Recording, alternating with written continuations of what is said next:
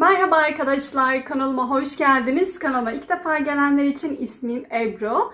Bugün yepyeni bir videoyla yine karşınızdayım. Bugünkü videomun konusu KYK yurt ücretleri. Ee, biliyorsunuz ki KYK yurt veya burs başvuruları henüz başlamadı.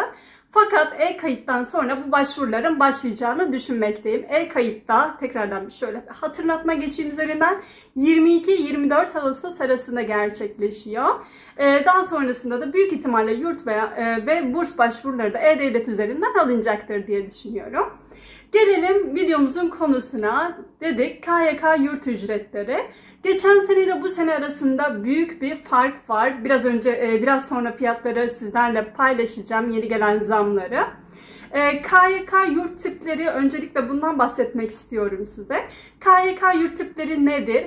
KYK yurt tipi e, şu şekilde ayrılır arkadaşlar. Konforuna göre, odada bulunan yatak sayısına göre, kalınan kişi sayısına göre, yurdun yeni olmasına göre e, çeşitli şekillerde tiplere ayrılmaktadır. Birinci tip, ikinci tip, üçüncü tip vesaire diye. Bu tip sayısı yükseldikçe yani 6'ya, 5'e ve 6'ya geldikçe bu e, yurtta kalan kişi sayısı azalmakta ve ku, e, yurt konforu yükselmektedir. Biraz sonra zaten teker teker inceleyeceğiz bunları. Dilerseniz birinci tip KYK yurduna geçelim. Şöyle ben buraya küçük küçük notlar aldım. Şu kısma etiket koymayı düşünüyorum. Sizler de oradan takip edebilirsiniz. Şöyle birinci tip KYK yurdu 2021 yılında ve 2022 yılı arasında depozito ücreti 376 TL, yurt ücreti ise 275 TL'ymiş. Yeni gelen zamlara göre 2022-2023 yılında Depozito ücreti 683, yurt ücreti 500 TL'ye yükselmiş. Evet, ikinci tip KYK ücretlerine geçelim. Şu şekilde hemen etiketini koyacağım. İkinci tip KYK yurt ücreti 2021 ve 2022 yılları arasında depozito ücreti 410 TL, yurt ücreti 300 TL iken İkinci tip yurt KYK yurt ücreti 2022-2023 yılında depozito ücreti 750 TL'ye yükselmiş. Yurt ücreti ise 550 TL'ye yükselmiş arkadaşlar. Şöyle e, üçüncü tip KYK yurduna bakalım. 2021-2022 yılında depozito ücreti 444 TL iken Yurt ücreti 325 TL'ymiş. 2022 2023'te gelen zamlara göre bakıldığında depozito ücreti 820 TL'ye yükselmiş. Yurt ücreti ise 600 TL'ye yükselmiş. Hemen şuraya dördüncü tip KYK ücretlerini ekliyorum.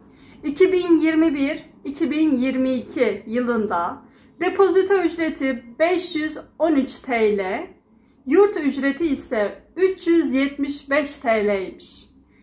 Gelen zamlara göre 4. tip KYK yurdu hemen etiketini koyuyorum. 2022-2023 yılında depozito 888 TL'ye yükselmiş. Yurt ücreti ise 650 TL'ye yükselmiş. Beşinci tipe geçiyorum. Beşinci tipi de şuraya etiket koyacağım. 2022 2020 e, pardon 2021 2022 yıllarında depozito 547 TL, yurt ücreti 400 TL'ymiş. Şu anki 2022 2023 yıllarında ise gelen zamlara göre depozito 900 e, pardon 957, yurt ücreti ise 700 TL'ye yükselmiş. Evet 5'i söyledik. Şimdi 6. tip KYK yurtlarına geçiyoruz. 2021-2022 yıllarında depozito 615 TL, yurt ücreti 450 TL'ymiş. Yeni gelen zamlara göre 6. tip KYK yurt ücretleri 2022-2023 yılında depozito 1093 TL yükselmiş. Yurt ücretleri ise 800 TL'ye yükselmiş.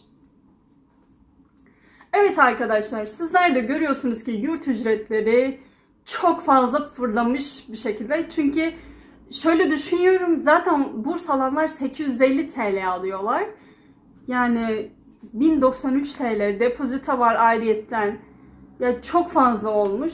Umarım diliyorum ki herkese başvuran herkese yurt çıkar. Burs da aynı şekilde çıkmasını temenni ediyorum. Gerçekten çok istiyorum. Arkadaşlar şöyle söyleyeyim. Oraya gittiğinizde yani e, kaldığınız yere gittiğinizde şöyle e, KYK bursu çıktı veya çıkmadı diyelim.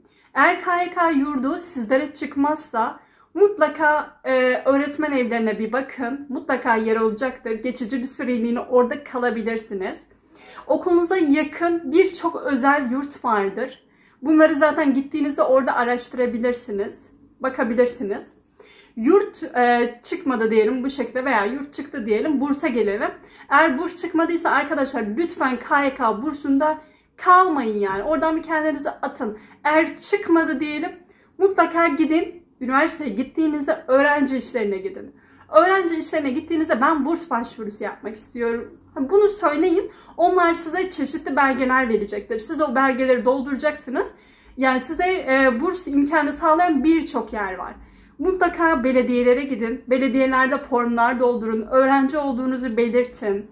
E, meslek lisesi mezunuysanız özellikle söylüyorum. Meslek lisesi mezunuysanız TEV bursuna başvuru yapın. Daha önceki videomda da söyledim.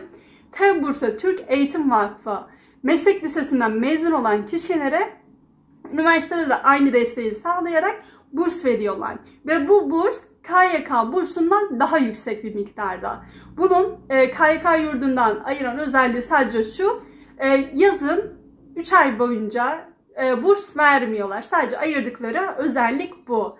Ama sizlere diyorum ki yani umudunuzu kaybetmeyin. Şöyle e, aklınıza şu gelebilir. Benim durumum zaten yüksek. İşte bazıları e, alt yorumlarımıza yazıyor. Benim videomun yorumlarına yazıyor. İşte annem emekli ya da babam çalışmıyor, annem çalışmıyor. Dört kardeşiz, iki kardeşiz, kardeşlerim okuyor. İşte üzerimde arabam var vesaire vesaire diyorlar. Arkadaşlar e, bana çıkmaz diye ümit etmeyin. Yani şöyle söyleyeyim tamamen şans meselesi. Gerçekten söylüyorum tamamen şans meselesi. Benim arkadaşlarımdan şöyle söyleyeyim. Üzerinde evi olan, maddi durumu gayet iyi olan arkadaşlarıma burs ve yurt çıkarken e, bazen şöylelerine denk gelebiliyordum. Maddi durumu bayağı kötü. Ee, işte e, kötü herhangi bir üzerinde ne ev var ne araba var maddi durum kötü kardeşler okuyor vesaire. Hani ne burs çıkıyor ne yurt çıkıyor. Yani dediğim gibi şans meselesi. Ee, tam net bir şey de söyleyemiyorum yorumlarda da sizlere bu yüzden. Yani kesinlikle umudunuzu kaybetmeyin diyorum. Herkes e, bana çıkmayacak diye düşünmeden başvurusunu yapsın. Hem yurt başvurusunu yapsın hem de e, burs başvurusunu yapsın. E, umudunuzu yitirmeden üniversiteye gittiğiniz zaman da mutlaka öğrenci işlerine gidin. Üniversitedeki öğrenci işlerinize gidin diyorum. Çünkü üniversiteye gittiğiniz andan beri para harcamaya başlayacaksınız. Sürekli para harcayacaksınız. Üniversiteye gidiyorsunuz. Otobüsten indiğiniz andan veya uçaktan indiğiniz andan beri para harcamaya başlayacaksınız. Sürekli sağa sola para vereceksiniz. İşte öğrenci kartı çıkaracaksınız, öğrenci akbili çıkaracaksınız diyelim. Para vereceksiniz. Yurda kayıt yaptıracaksınız diyelim. Depozito ücreti vereceksiniz. İşte kalacağınız gün sayısı kadar o da e, şeyini vereceksiniz, ücretini vereceksiniz. Vesaire vesaire. Bu sebepten dolayı lütfen diyorum sizlere. Umarım hepinize yurt çıkar diyorum en başında.